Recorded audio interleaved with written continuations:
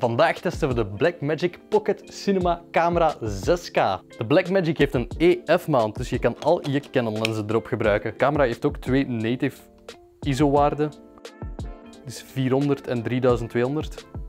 De Blackmagic heeft ingebouwde ND-filters.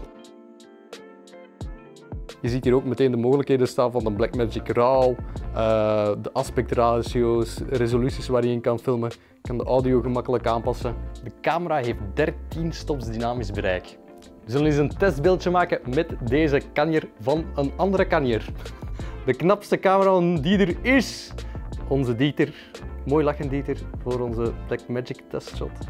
Een super compacte cinemacamera, de Blackmagic. Super 35 sensor, RAW-capaciteiten, ingebouwde ND-filters, allemaal in deze kleine body. Je kan hem eens proberen, huur hem gewoon bij Alstron.